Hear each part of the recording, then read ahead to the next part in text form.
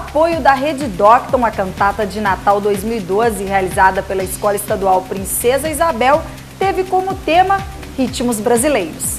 As crianças do Coral Mariana Azevedo Leitão cantaram por mais de uma hora em frente à Escola Estadual Princesa Isabel.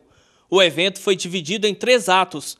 As tradicionais músicas natalinas agradaram o público, que mesmo tentando se esconder da fraca chuva, não arredou o pé da Praça Cesário Alvim. Olha, apesar da chuva que cai, essa animação que contagia o espírito do Natal faz com que todos venham a participar, mesmo com chuva.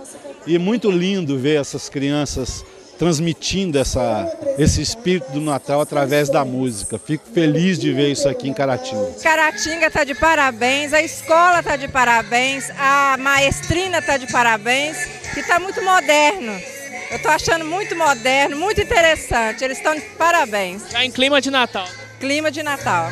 Mas a nona edição da cantata teve como tema um Natal brasileiro. Os ritmos da MPB e samba deram um toque vibrante às músicas natalinas.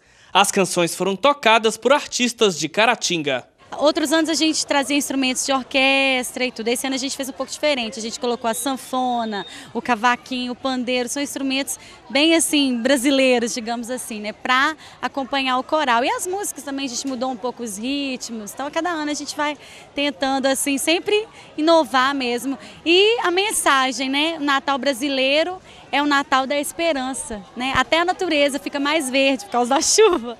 Né? Então, é essa mensagem, a esperança para cada um de nós, para um ano cada vez melhor, para vidas cada vez melhores. Feliz Natal! Fazem parte do coral crianças e adolescentes. Os jovens são alunos da Escola Princesa Isabel. O Coral Mariana Azevedo Leitão recebe apoio da Rede Docton de ensino. É uma alegria muito grande para a Rede Docton.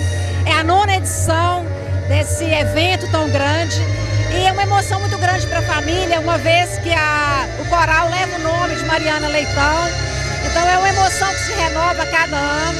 E nós só temos a agradecer por esse trabalho tão maravilhoso, pelo tema tão significativo, onde foi dividido no Natal tradicional, Natal brasileiro, Natal universal, para que a gente possa relembrar que o Natal é um momento que une o mundo inteiro em torno de um mesmo propósito.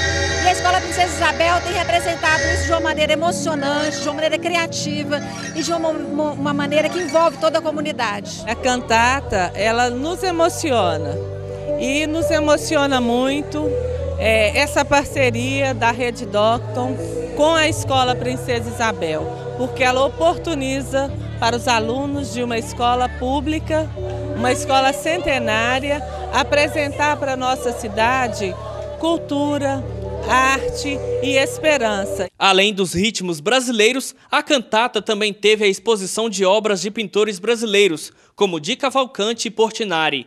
As telas retratam o espírito natalino e estão expostas nas janelas da escola. Elas foram reproduzidas pelo artista caratinguense Lomeu. Como foi o Natal brasileiro, e nós fizemos essa releitura dentro dos artistas né, consagrados, artistas contemporâneos, trabalhando o tema Natal, presépio. Então eu fiz uma releitura de várias obras, de vários artistas, e colocamos aqui para estar tá brilhantando né, o, evento da cantata né, do Princesa Isabel.